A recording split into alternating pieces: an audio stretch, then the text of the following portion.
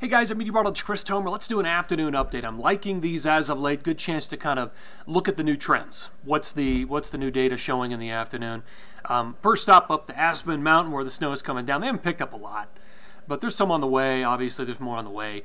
Um, when I think of Colorado and where I think the most snow will fall over the next, I don't know, seven, eight days, nine days, I like Aspen. I like Crested Butte. I like uh, Steamboat. I like Vail to some degree. I like Red Mountain, Purgatory, Telluride, Silverton, and Wolf Creek. Outside of Colorado, Wasatch, Sierra, around Sun Valley, Tetons, Pacific Northwest, Interior BC. Those will be my bullseyes. Um, so let's look at the data. What am I seeing this afternoon? What are the trends? Well, I'm noticing a couple things. And let me go back to this because it's going to help me tell the story we, the strength of the atmospheric river appears to be trending stronger, more intense on 1230, 31, early 1. Could be strong. Triple head, triple prong right there. Um, the second thing I'm noticing, and why is that important? Because it affects the snow. It affects the snow downstream. In Colorado, in Utah, it affects the totals in Wyoming, in New Mexico, in Arizona, in Idaho. All those areas downstream are affected by the strength and the wobbling of this intensity. The second thing I'm noticing is that it could be trending weaker on 2, 3, 4, 5, 6. If that happens, then the numbers go down over that period, especially downstream. But there could be another storm on 5, 6, 7, 8. Don't know yet.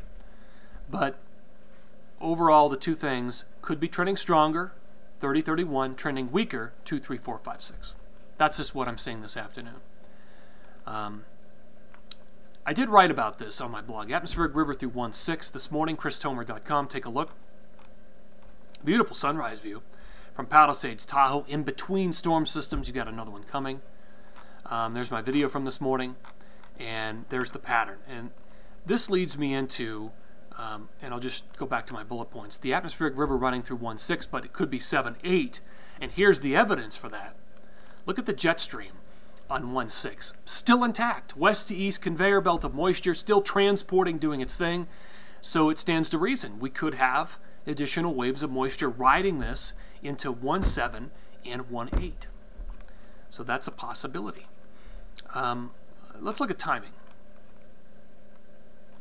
Future radar satellite. There we go. Thursday, 6 a.m. Next wave hits California Friday at 6 a.m. Moves into the interior. Another one behind that for Saturday um, and then that moves into the interior. And here's where things are a little bit questionable. How strong is this wave? Two, three, four, five, six. Um, how intact is it?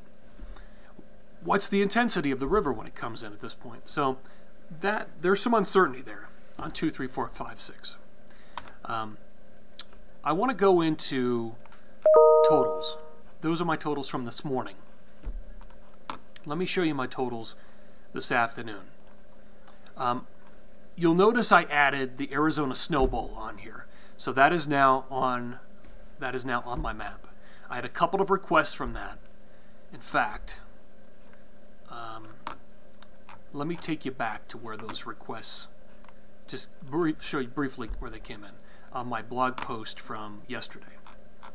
Um, down at the bottom, had a request from Linda Johnston for Arizona Snowbowl. Um, Brian also chiming in. Um, it wasn't on my map yet, but I can tell just reading Brian's comment. Um, he's not happy. But um, I added Snowbowl onto my map for today. So, Brian, take a look. It is now in the forecast. Um, there's 1228 through 1230. Um, another, so all the rest of today, obviously it's now 3 p.m. So the remainder of today through 12:30, nine to 10 more inches in the Wasatch, um, three to eight in Colorado. Most of that being across the western slope in the San Juans. Um, another six to seven in the Tetons. Another foot through the Sierra. All right, here's the latter period, 1231 through 16. Um, big numbers. Another 30 to 80 potentially. That might be a little high for Tahoe, but 30 to 80 in the Sierra. Another 45 in the Wasatch. This is what I'm talking about. So those numbers in the Tahoe numbers have gone up, the Wasatch numbers have gone down. That is directly related to what I was talking about earlier with that latter storm, 2, 3, 4, 5, 6 being weaker. It affects the downstream numbers. Now, it's possible, you know, those numbers could go back up, but I brought them down a little bit. Uh, a couple of feet up in the Tetons. The numbers in Colorado got, went down just a touch as well. Um, you can see the bigger numbers are all across the western slope and down through southwest Colorado. So, what happens with the river directly affects everything downstream. A couple of feet through Sun Valley, I really like that, and the Pacific Northwest, one to two feet up there. Um, we'll end on the northeast. Again, nothing huge here, but some wraparound snow possible, especially northern Vermont, northern New Hampshire, northern Maine, 1229 through 16. All right, guys, there we go. That's the afternoon update. Hope you uh, enjoyed it. Uh, I'll be back tomorrow morning with another update uh, and the blog as well. Always appreciate you guys tuning in here. Take care.